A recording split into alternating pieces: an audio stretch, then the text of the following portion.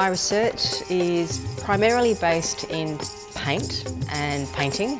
I'm particularly interested in how we use technology, specifically the screen and screen-based technologies, the computer screen, a windscreen of your car, a digital camera, um, as a way of mediating the world. And I use painting um, as a way to critique that altered vision of, our, of the environment around us.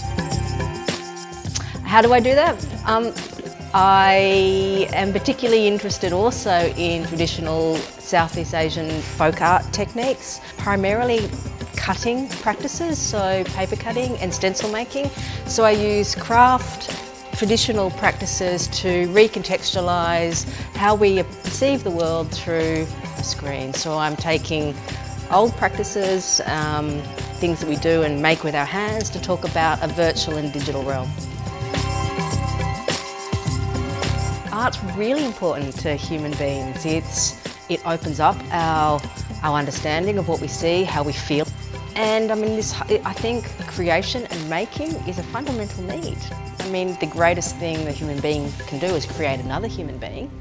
Uh, and I think the whole process of art making is, you know, deeply tied to that. Uh, that there's something deep within us that actually, uh, that the whole idea of making and creating is fundamental to, to who we are. I love coming to work. I love my job. I love teaching painting. I am incredibly passionate about painting and all of, uh, all of its history and all of its future.